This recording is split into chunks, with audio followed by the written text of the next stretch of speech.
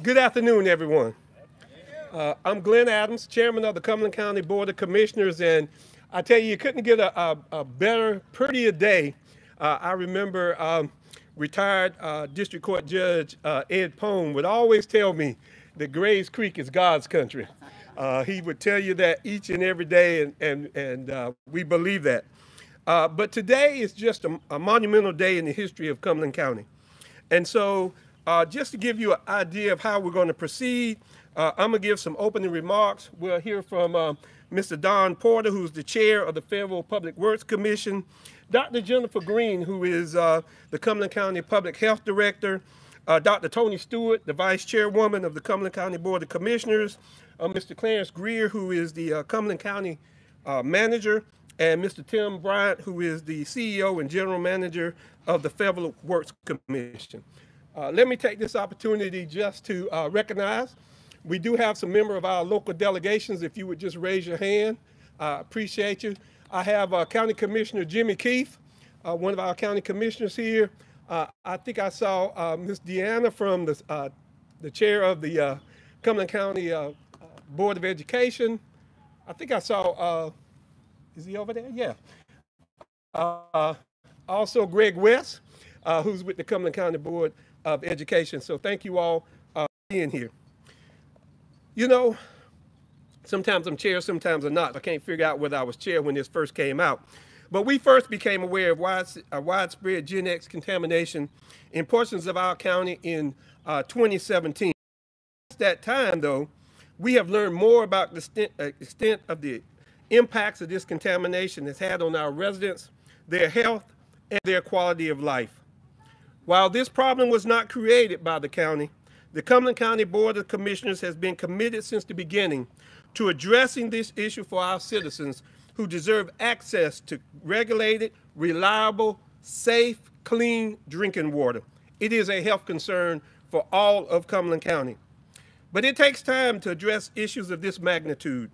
There have been many factors to consider when determining and implementing the best solutions to address this desperate need in our community. Through it all, the Cumberland County Board of Commissioners has continued to listen to the concerns of our residents, and we have not once wavered from our commitment to seeing this through for the benefit of our residents. The time it has taken to get to this point, we are here today. We are concerned by the Board of Commissioners. We took action by suing Chemours and DuPont. Litigation is pending. But we will know that it takes time to play out in court. So we therefore have been proactive in seeking a solution for our citizens. The county has plans to build out a system. We did that when our uh, last county manager, Miss uh, Amy Cannon, was here. We built out a system. We've looked at the possibility of deep water wells. But today, we're talking about Grays, Grays Creek. But make sure that this health concern is beyond Grays Creek. This is just the first step. It's in Cedar Creek. It's headed up to Stedman, but it's a step-by-step -step process that we have to take care of this issue. So I got to thank our county manager, Clarence Grier, and, and uh, PWC CEO, Tim Bryant, for being very proactive in this. But I would be remiss not to thank our former county manager, Amy Cannon, for all the hard work and effort she put in to bring us to this point. You know, many of you were with us on Wednesday when the Secretary of EPA, Michael Regan, along with Governor Roy Cooper and Attorney uh, General Josh Stein uh, were here. Wednesday was a good day for the entire nation as Senator Regan, Secretary Regan announced new standards for PFAS, Gen X, and forever chemicals. That was a good day. But today is a great day. And so today I am proud to stand before you to announce that the Cumberland County is partnering with the Fayetteville Public Works Commission to bring safe drinking water to Grays Creek Water and Sewer District. As part of this collaboration, PWC will expand its current water system to provide source water and service not only to Grays Creek and the Alderman Road Elementary Schools, but to the entire Grays Creek Sewer and Water District. You all ought to clap for that. That is monumental today. We believe this collaboration is in the best interest of county residents and that by combining our resources, we'll be able to do this far more quickly than we could do it individually. We are truly embodying the meaning of our county motto, together we can. Well, I want to express appreciation for PWC for being willing to partner with the county for the benefit of our residents who urgently reliable and safe drinking water. I also want to thank the members of our state legislature delegation led by uh, Mr. Marvin Lucas, uh, who've advocated for Cumberland County and for this effort. The delegation has provided a substantial amount of funds totaling $12 million toward making this need a reality. Chairman, be sure That- now say that they voted against that budget. Well, and- Republicans voted for the budget, they voted All right. against it. Let's And, tell the truth. and then uh, we would also, uh, as I uh, continue to do this, Representative Frances Jackson, we talk every day, and uh, thank her for uh, all of her efforts. In closing today, today marks a significant milestone as we advance action on the majority, a major priority of the Cumberland County Commissioners and of Cumberland County. But this is only the beginning. In the coming months, we will share more information and engage our residents that they have the information they need about what this means to them and to participate.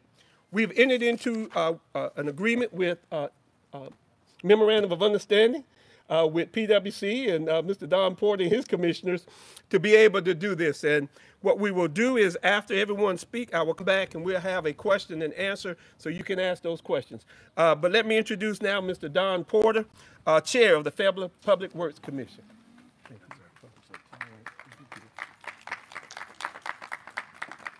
Good afternoon. Good afternoon. Stand as a power outage, and if, if it is, you want to blame somebody, blame me. Somebody must have paid the bill. Oh. Two, clean water elements in one week. That deserves a clap. Based on my experience, whether as a 30 year logistician or a 20 year economic developer, I well know the importance of infrastructure when it comes to providing high quality for communities. And I'm simply here today to report and to make it clear that uh, my fellow commissioners, Commissioner Davis, who is here, raise your hand there, Commissioner, uh, Commissioner Richard King, or Commissioner Ronna Garrett could not be here, but let me be perfectly clear, we are honored and proud to partner with uh, uh, our PWC staff and the county in this in forming this partnership. This is a great effort. And when I say a great effort, I mean a great effort. The citizens of Grays Creek deserve to have access to clean water. And I'm simply proud to be the chair of a board that has partnered with our county to make that happen. So the one thing that I want to reiterate is that our board is committed to partnering and let it be known that together we can get the job done. But let there be no doubt that together we will get the job done. Thank you so much for having me here today.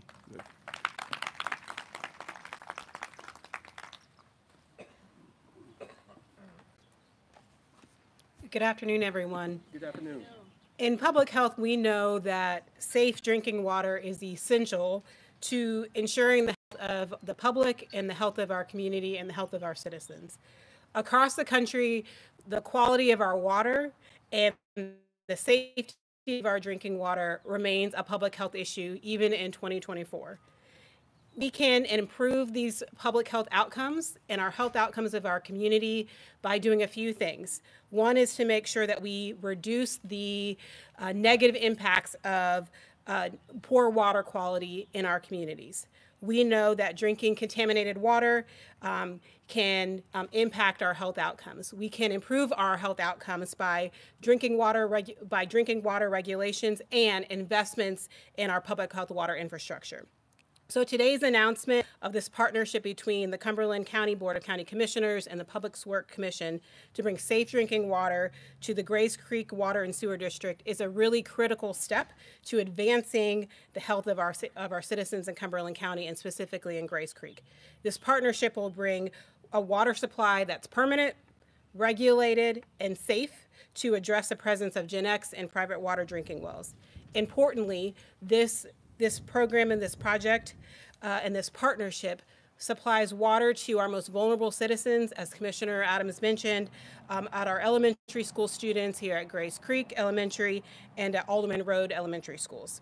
It aligns with the EPA's announcement on Wednesday about uh, limits on uh, these forever chemicals that are uh, present in our water. That is a historic day for our country and our community to make sure that we're advancing the health and safety of our citizens. Uh, we have at the health department um, been committed to learning and participating in research and related to understanding the impact of Gen X and other PFAS chemicals on our health, and we will continue to do that. As this project and this program becomes implemented, we're committed to sharing information with citizens and being the health educators in our community to help understand, to help citizens understand and what it means for them and their families. So thank you to uh, the Public Square Commission and our Cumberland County Board of Commissioners for your work um, in helping our communities be safe, um, helping our communities have safe drinking water. And next up to the podium, we will have uh, Dr. Commissioner Toni Stewart.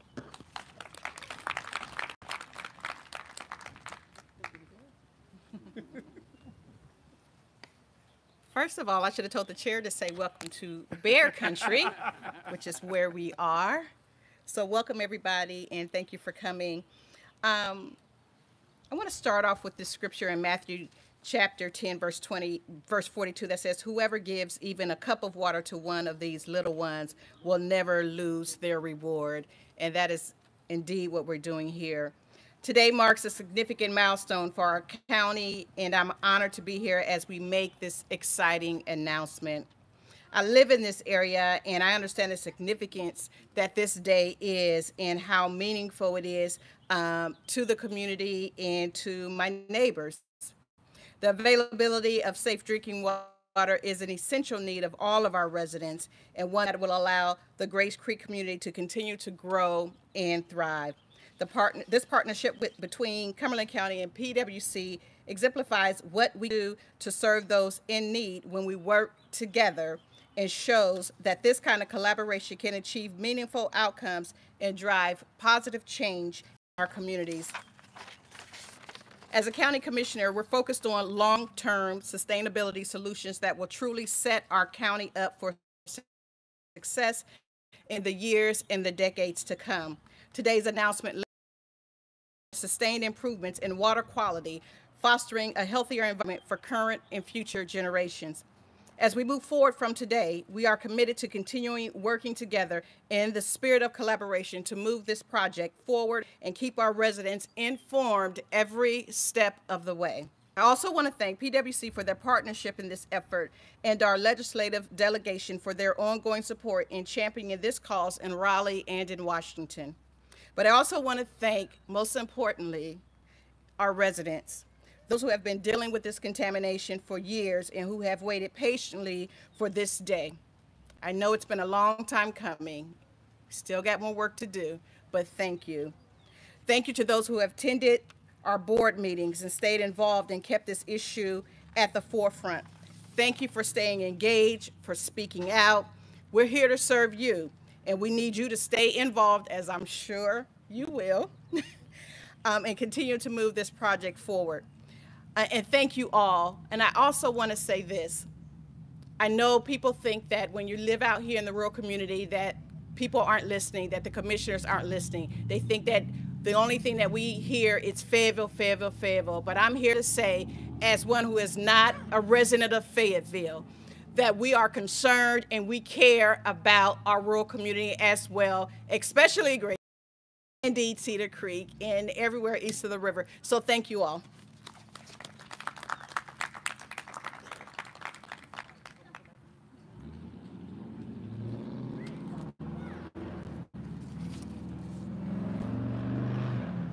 Just up a little bit. Good afternoon. everyone. Good afternoon. This year has been a significant transformation in county. The Cumberland County Board of Commissioners has had a dynamic vision for the county future, and we have had tremendous progress along the way. From designing the Crown Event Center to breaking ground on the Homeless Support Center, we have been moving forward with their vision. But no priority is as important as the health and safety of the residents and ensuring our residents in our community, especially Grays Creek, have safe drinking water and safe water. Thank you, commissioners, for your leadership and your perseverance in keeping this at the forefront of my efforts to move the county forward. Your advocacy has been instrumental, not only moving this project forward, but move, building momentum for the announcement from the EPA this this week. I want to also thank the, the, the members of the federal and state legislative delegation who have advocated and provided funding for this cause. Also, lastly, but most importantly, we'd like to thank PwC for their partnership and the willingness to achieve the county's goals of permanent, regulated, safe water for the residents of Grays Creek of the Grays Creek community. As county manager, it's been a privilege to serve Cumberland County, and I truly believe that we can achieve great things if we all work together. And I believe this is the start of us establishing ourselves in this region as an economic engine for not only this region, but across the state of North Carolina. I'm honored for the, to be here, part, being part of this announcement, and I look forward to the future. Thank you.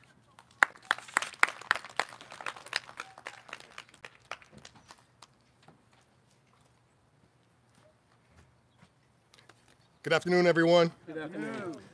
I'm not quite as tall as uh, the last speaker, but I'll bring this mic down just a little bit. But again, thank you. Appreciate everyone coming out on this sunny Friday afternoon. I do want to make sure everyone knows that all power has been restored. Amen. We paid our bill. We paid our bill, Paid our bill. but unfortunately, someone had an accident that literally took out a large portion of our service territory. And we are blessed to be here, and I'm not so sure if they and their family today um, differently as they move forward because it is going to be impactful for them. So I just want to make sure that we all, while we're happy that our power is restored, it was not the uh, cause of a rodent or some other of that nature. It was definitely something that dealt with a vehicular accident that was very, very challenging, not only for us, but also for that family and those folks involved. But let me get to my remarks regarding this awesome day and the purpose of all of us being here to celebrate this momentous occasion. First, I want to say that PwC has been providing high quality drinking water to the residents of Fayetteville and the Cumberland County area for more than 119 years, almost 100 wrapped around that. PwC was the very first utility in North Carolina to be recognized with the Partnership for Safe Drinking Water's Director's Award for our treatment efforts. We have maintained those standards for 23 consecutive years, and now we can extend that award winning service to the Grays Creek community. Since forever chemicals were first discovered in Cape Fear River, PwC has been at the forefront of the treatment options and continued advocacy to prevent chemicals like Gen X from being discharged into our source water. That commitment has not changed. We understand our community's desire for swift action to remove contaminants from our drinking water. In of 2022, our state delegation approached PwC about providing water to the Grays Creek region. Since then, we have been working with the county to, de- to determine the best and most feasible way to do just that. We believe that all citizens deserve high quality drinking water, but especially our children. And it's because of that, that is why we're starting right here at Grays Creek Elementary School and the Alderman Road Elementary Schools. And that is why it's so important for us to do that. We're committed to bringing the best and the brightest technical minds at not only PwC, as well as the county, in addition to external resources to make that happen as quickly and cost effectively as possible. But again, thank you all again to our Cumberland County Commissioners for keeping this at the forefront of the community um, as we look to bring this solution forward and providing the staff, quite honestly, the support that to continue to engage looking for the best options. As mentioned before, thank you to the state and federal delegations for all their hard work and their openness, quite honestly, to look at the options that are available and to stay focused on driving um, all the necessary efforts to bring funding back here to Cumberland County and to PwC for that matter to help make this a reality. And lastly, I want to thank my staff at PwC. Our team has been looking at PFAS and contaminants along the Cape Fear River, as I mentioned, for many, many years. This is not anything new to us, but they're leaning in.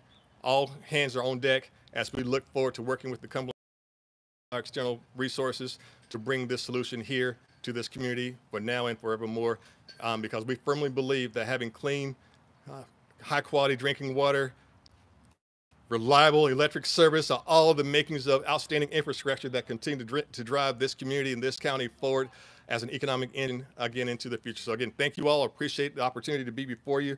And again, uh, Chairman Adams, if you will want to bring things uh, to a close. Yeah, we're going to have a, a, a Q&A, and I'm going to ask uh, the county manager and Mr. Bryant to come up. Um, you know, it's one thing about the county commissioner, you got to know where your uh, where your role is. But let me tell you this: this is and and, and um, it is a good day. It is a great day. But let me tell you that we talk about the collaboration between uh, PwC and the county. But I tell you what, citizens sometimes drive this. And I want to say a thank you out to Mike Waters. Uh, Mike Waters is here. Uh, I'm gonna tell you when in 2017 when this hit, uh, we weren't really sure what was happening. But I will tell you that Mike Waters went on the internet. He went to DEQ. He went to Wilmington. He went about everywhere. Um, I tell you, my um, uh, my uh, cell phone carrier was asking about all these emails that I was getting from this guy named Mike Waters.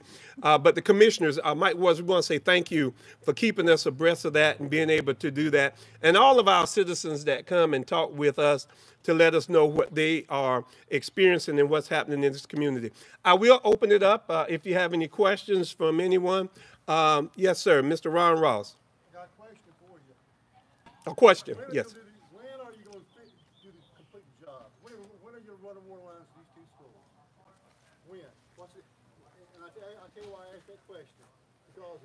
2020, Commissioner approved $10.5 million to memorialize these two schools. We'll answer that question right here for you. You want to answer that? So with this MOU in place, Nick, we now have literally the handcuffs removed from the county and the PWC teams to start our work. Honestly, that's already begun, but our engineering staffs will be coming together on this coming Wednesday to do all the hard work to plan out the courses of bringing the water to the schools as well as throughout the entire region. So to answer your question, we are doing our due diligence at this point. We are not going to tell you today that you're going to get water tomorrow because that would be fool, foolhardy for all of us. Can you give me a year date or two? Okay, in two thousand twenty, top priority was water lines to these two schools. It wasn't the center downtown. Won't you run water lines to these two schools before you finish the entertainment center downtown? Sir, When it can be done? I appreciate your comments. Um, we will endeavor to work hard and steadfast to bring water to this region as we said we would, and we're going to do just that. And I would tell you uh, that the uh, Wednesday when the EPA was here, uh, they out of Atlanta uh, gave their uh, team to be able to help us move this thing as far and fast as we can. Over a billion dollars from the Biden uh, administration comes to this community, and through uh, Governor uh, Cooper, $29 million to the state of North Carolina. So in the position to be able to move this as fast. You're going to have drinking water tomorrow? No.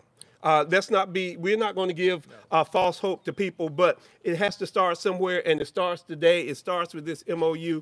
I think you had a question. Sure, um, and maybe this is for both. Uh, what are those handcuffs you were referring to? Uh, are you talking about logistics? You know, why the delay seven years after knowing, four years after, um, ha- to just have an MOU? You know, what, what, what stalled this process? Well, you know, part of the process is the density out here in uh, in Grays Creek, and over those years, if you look at our uh, agenda that we've had, we've had more rezoning cases probably for Grays Creek as for anywhere else in the county.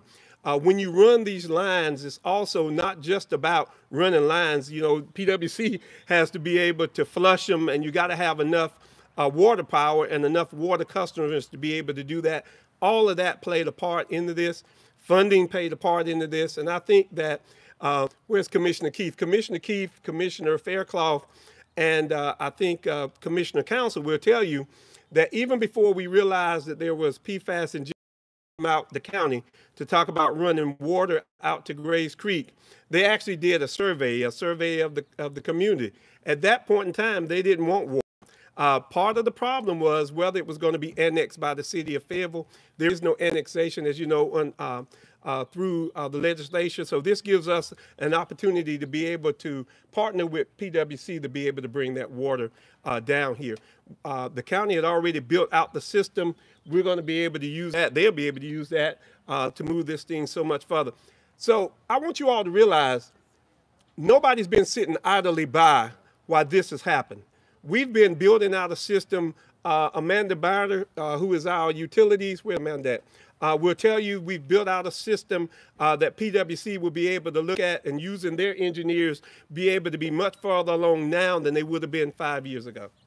Yeah, Commissioner Adams, uh, you mentioned earlier that this is a starting point, and obviously Grays Creek isn't the only community that's deeply concerned about elevated levels of PFAS. The Arlington Plantation Residential Community, Fair Hope Mills is another one. So will we see partnerships like this for other, you know, highly impacted areas of Cumberland County in the future? And thank you, Monty. That's a great question. You know, this PFAS Gen X is for the entire nation, especially for uh, all of North Carolina, from here all the way down to Wilmington. Uh, we're all dealing with those same issues. So, yes, this is the first step. This is where it started. This is where we've already got a water system that we can tie into. But we have not forgotten about the residents of Plantation, uh, Cedar Creek, and all of those. It's all the way up to Stedman. So, uh, and I will tell you that after Wednesday, we will probably find out it's in many more places as they've uh, lowered the levels for PFAS and Gen X. So we, we are looking to take care of all of our residents throughout um, Cumberland County. I don't know if either one of you all want to. Yes, ma'am. What's this gonna cost the citizens? What do we have to pay you to get clean water? Well, and uh, I will tell you that if you look at um, uh, where we are, we haven't gotten to that point yet. But let me tell you this it is our intent that Chemours and DuPont uh, pay for all of this. Uh, and that's why we sued them.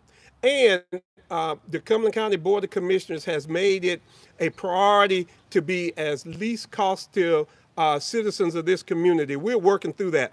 And I will tell you, the ARPA funds that came down through the administration will be used to be able to offset some of that for our citizens.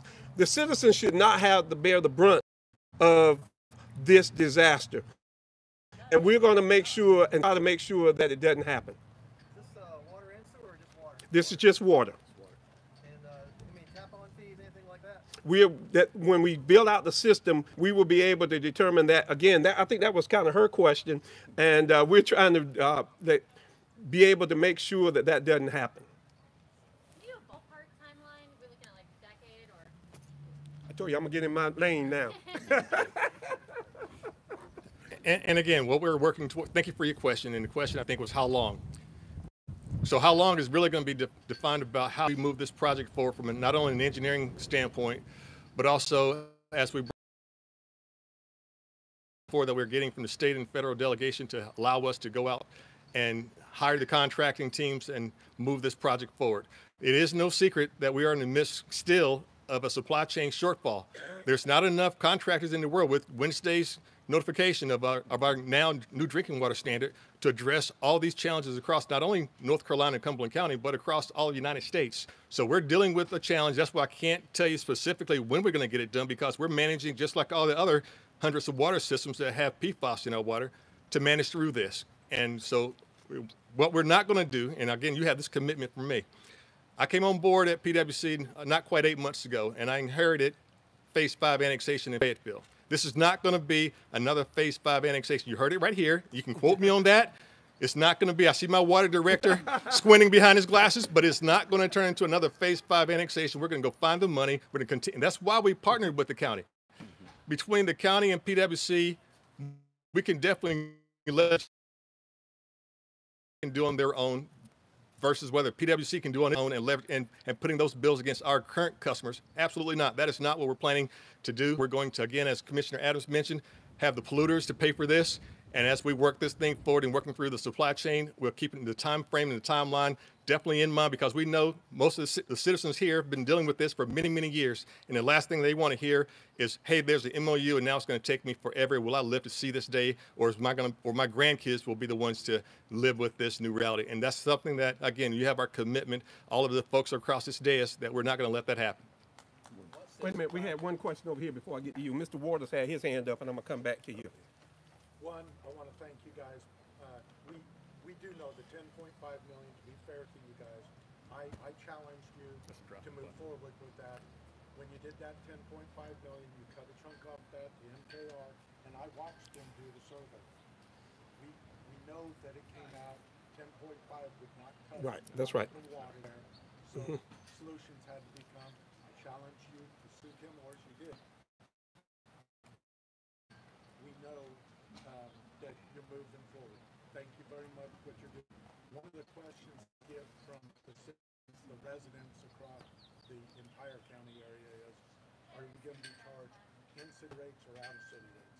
Some of the elderly, if it is out-of-city rates, are not going to be able to afford it. And- And I'll tell you, uh, and those are excellent questions. We're working through those. Um, it is our intent, again, uh, as we do this. One is to build it to urban standards because of, of what we do that. And that's, uh, I think I got my uh, fire chief here who will tell you that we need to build it to uh, urban standards for the fire department and all of that. So we're, we're building it to urban standards. And as we build this out, you know, we have, when you ask the question of how long this is going to take, understand there are no lines down, so we got to get easements. We've got to do all of that to be able to run these lines. So it's not something that's going to happen today, tomorrow, the next month. But we will tell you that we are committed to keeping those costs low and to running this uh, as fast as we can. Yes. Uh, I may have missed it, but in this first step we're talking about here, how many residents will be served by this? approximately 75,000 residents. Let me, let me ask, let me add one other thing. Um, since, uh, Mr. Bryan has started, we've been talking about this since he's been here. We've been meeting on a regular basis. The, um, the only reason why we're not meeting tomorrow, because tomorrow is Saturday, uh, but it's my belief that once we start on Wednesday, we're gonna continue. We're gonna meet with the state, we're gonna meet with our federal, um, representatives, and we're gonna try to get this moving forward. We don't have a timeline, but we're gonna move very quickly and correctly to make sure that we get this settled. We're not gonna wait another ten years to move forward on this. You know, I think what we what we have learned from all of this is to keep our citizens informed. So as this process goes out, there will be timely informational sessions out to uh, our citizens because they deserve the right to know. Uh, I will tell you, I was moved on Wednesday when the young lady stood up and talked. Many of you all were there, and she talked about her family and the ones that were dying of cancer and all of that. You know, that moves all of us. And that's what we're talking about. And that's why Dr. Green talks about it. We're talking about the health of community uh, and the safety and clean drinking water. And I will tell you, uh, Mick Mullen and I have, uh, who's the water uh, guru over at PwC, we talk about it because it's important uh, to understand uh, how the Cape Fear River, the importance of Cape Fear River to us. Uh, and I would be uh, wrong not to even talk about it, but uh, the late Laura Talley, she was well ahead of her time when she talked about the inner water transfer basin that uh, up down I 95, I 40, uh, and I 85 wants to take water out of our Cape Fear River and not put it back in and change it over and put it over into the Neuse River. Those are issues that we're going to deal with on an ongoing basis. I know our delegation is well primed on the inner water uh, transfer basin. Uh, we've got to protect the Cape Fear River. Uh, that's our source of water and all of those downstream from us. Uh, last question from me. Wait and see what happens with the lawsuits, uh, you know, involving the polluters and so forth. Um, I'm on what are the funding sources for this in the meantime. Well, here, yeah. Here- Here's what uh, we do: is we're not waiting. Okay, so let's when you write this story that we're not waiting on the lawsuit from Chemours. Uh, we are actively pursuing a lawsuit against them. But if we wait, you look in West Virginia, you know how long folk waited uh, for the termination of that. After you have that, you got all the appeals. So we've been proactive, and uh, with the uh, money that the one billion dollars from the infrastructure that I told you about from the Biden and Harris administration, uh, that 29 million that comes down uh, to the state of North Carolina, those are source funds. We've got some ARPA funds. PwC has some funds, and we're going all of those to be able to do that. Uh, it is a process, but this Cumberland County Board of Commissioners and I think PwC is committed to moving this project forward. We're not waiting on a lawsuit to be able to, to have this happen. Okay, You said one question, but I'm gonna give you another one. delay, this is the second part. if there's any delay, it won't be because of funding. That's correct. Well, Yes, ma'am. Well, a- again, again, and I want I want a thumbtack into your comment because you said if there's no any delay, it's not going to come because of. fun- You're absolutely right. We have to have the funding, and we talked. We all up here thanked our delegation, our state and federal delegation for all the work that they've done, and obviously our Cumberland County Commission for the work they've done. But this MOU, it shows our partnership. It shows that teamwork to move this ball forward and our commitment to move this ball forward. So as I've, as these gentlemen have heard me say, many of the folks on this dais have heard me say since I've gotten here, collaboration, collaboration is key. Not only collaboration among us and for our citizens to see that collaboration, but for our state delegation, for our federal delegation, and obviously for our customers to see that we're working together to solve this problem. And when our state and federal delegations see that we're working to solve this problem together, it helps us to put pressure on that state and federal delegation to bring down those funds that Commissioner Adams just talked about. So again, it will be funding, but we are, we have all hands on deck at PwC, the county, state, and federal delegation to wring our hands of that multiple millions of dollars to close the gap because we have about 40 to 50 million dollars in hand right now between the ARPA funds and the PwC funds from the General Assembly. But clearly that's not going to be enough. And we're going to keep working day in and day out until we get there. So thank you. Yes, ma'am. You had one. Yeah, quick question. Um, just uh, kind of going along with the news as well that we're getting about the um, uh, granulated activated carbon filter coming in. Um, that's going to be, you know, good for getting a lot, rid of a lot of PFAS, right? So I'm just wondering, um, with these new, put any sort of added stress on being able to filter out these chemicals? Do you anticipate any challenges just being able to deal with that aspect of it? Thank you for your question. And quite honestly, PwC, we began our work more than two years ago to analyze what was the best technology to remove PFAS and PFOS from our water. And yes, we have um, identified granular activated carbon to be that solution to address PFAS and PFOS in our water well before this opportunity here in Grays Creek um, was brought to us. So yes, the granular activated carbon system that will be functional in about 2028 well before the um, new drinking water standard is now will be applicable to us. It's going to be in service to remove PFAS and PFOS from our water. So, uh, as you run it out to these seventy-five thousand residents and also the businesses, when you run a line past the property, are they gonna be required to connect, or is that gonna be their option? It would be the residents' option to connect, but we would strongly suggest that they do, uh, based on the, the work that we're gonna be doing and the water that we're gonna be providing. And, and as you asked that question, it is an option, but hopefully, if, if we have the funds to be able to do that through that lawsuit, we can have them connect without any cost to them, and then that makes sense to be able to do that. But I will tell you, there's some people who want their wells, and they're going to keep their wells, and, and, and they have every right to do that. We can't force them not to have their wells. So like,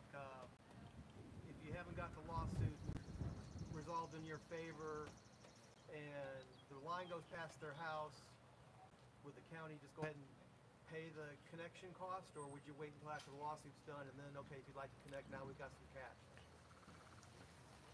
One of the, one of the, I mean, I'll say fortunate but unfortunate things is since we're a tier one county and we are considered a distressed utility, we can use some of our funding to help people, help residents connect and pay for that. So we would provide that option for one to connect, uh, pay the connection fee or tap fee, so they wouldn't have to bear, uh, bear that cost. What's the total cost of the project? Like, how funding are you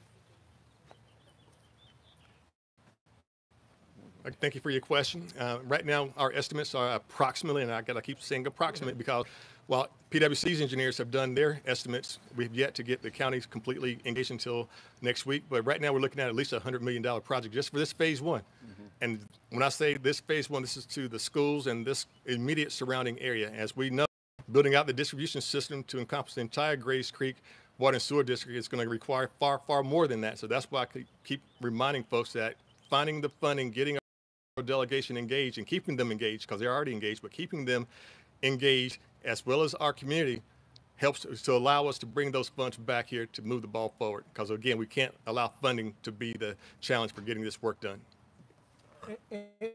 And I, I will tell you that uh, from PwC standpoint, from your question, that's for this area. We still have to deal with Cedar Creek. We have to deal with other areas in this county. So you can see how those funds are going to mount. Is this like the next step or the first step for doing countywide water?